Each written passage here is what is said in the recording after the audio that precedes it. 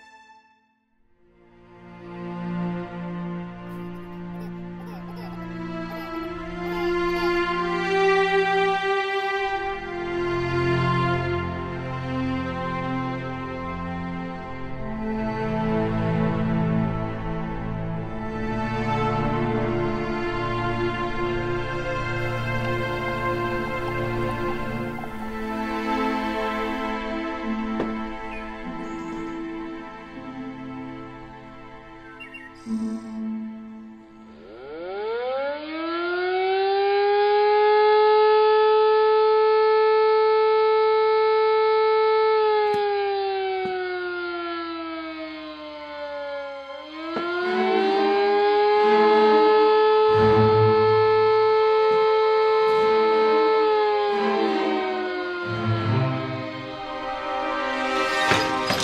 what happened? There was a cave in George is still in there.